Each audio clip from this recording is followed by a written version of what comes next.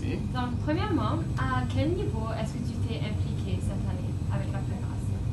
Euh, dans la préparation du camp a commencé depuis que j'ai été affecté dans cette école. Donc, parce que je sais que le camp, c'est une activité régionale qui a beaucoup d'impact dans la communauté auprès de nos parents et de nos élèves. Donc, dès mon entrée en fonction à JSF, j'ai rencontré les enseignants qui se sont occupés du camp l'année dernière.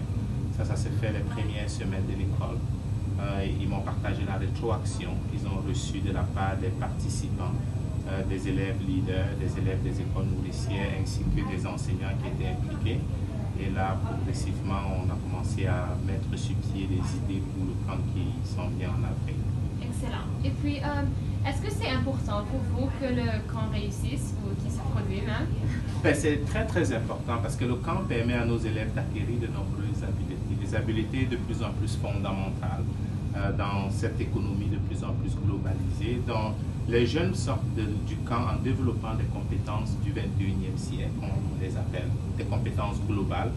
Et en plus, ce qui est encore plus valorisant pour le camp, c'est que nos jeunes de l'école développent leurs habiletés de leadership. Donc, ce sont des choses qui leur permettent, une fois rendus à l'extérieur de l'école, d'être des citoyens euh, engagés et impliqués, non seulement à l'extérieur, mais aussi au sein de l'école.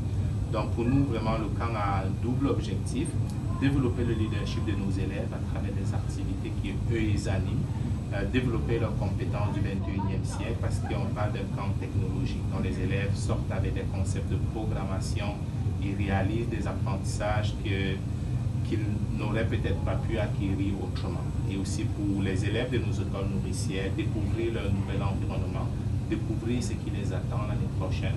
在五一路上面开展特色活动